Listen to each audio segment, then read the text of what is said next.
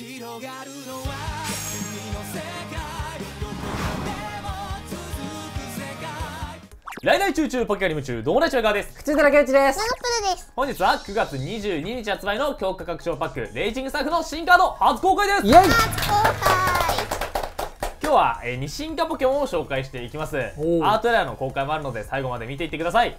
ではまずは進化前のこちらから紹介します。一月二段ギル。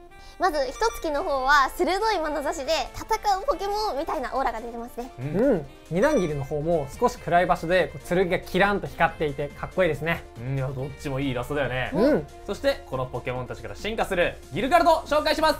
こちらギルガルドは鋼タイプの二進化ポケモンで HP が150です。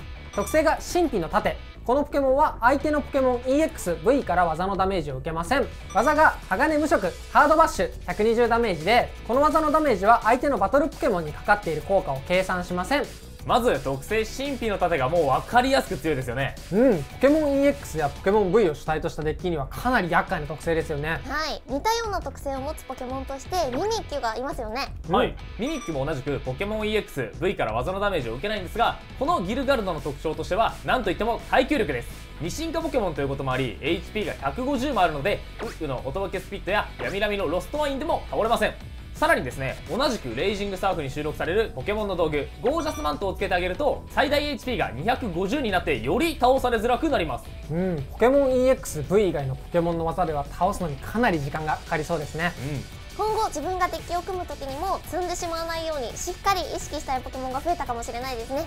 そして技ハードバッシュも相手にかかっている効果を計算せずに120ダメージと安定してダメージを出していけます鋼タイプということもあってパオジアン EX の弱点をついて一発で倒せるっていうのも優秀ですね。はい。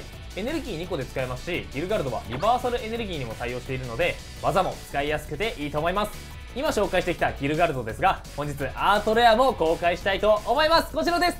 じゃじゃんおお、遺跡みたいなところで真ん中でどっしりと構えていて威厳がありますね。うん、私が正義だみたいなね風格を醸してますよね、う右下の説明文もさギルガルドに都合の良い国を作らせたっていう衝撃的なフレーズがね 書いてあります確かにん。どんなとこなんだ。ううんんギルガルドを含めて全体的にシンメトリーっぽくなってるのが個人的に刺さりますわうん。ということで本日の新カード初公開は以上です。今後もポケカチャンネルではポケカの最新情報を発信していきますのでぜひチャンネル登録してチェックしてください。動画への高評価もお願いします。お願いします。それでは皆さんまた次回。バイバイ